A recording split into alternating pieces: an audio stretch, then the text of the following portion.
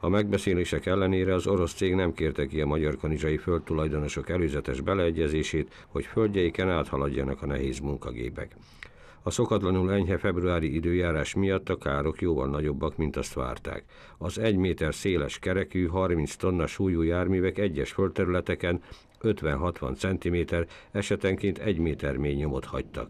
Ez lehetetlenné teszi a szántóföld megmunkálását, a vetések esetében pedig akár több éves terméskiesést is okozhat. Tudatában vagyok abban, hogy az én földemen én vagyok a tulajdonos, és semmilyen jó nem volt előzőleg, nem keresett fel senki illetékes, hogy aláírjak valamilyen egyezménynek, hogy én adom a utat a, a, a földemen keresztül. Az elégedetlen termelők kedd délelőtt a Magyar Kanizsai Városházán egyeztették álláspontjaikat és követeléseiket, amelyeket délután egy 12 tagú küldöttség ismertetett a kutatásokat végző cégek képviselőivel.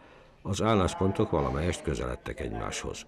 A gondot a földtulajdonosok által kért kártérítés nagysága jelenti.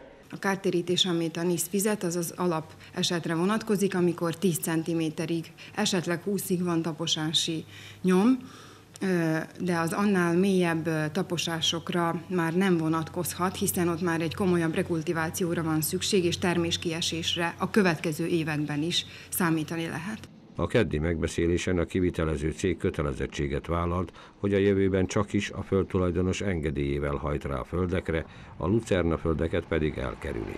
Az ügyben előrelépés hétfőn várható, addig a kőolajipari vállalat vezetői kialakítják álláspontjukat a Magyar Kanizsai Község mezőgazdasági termelőinek kártérítési igényei kapcsán.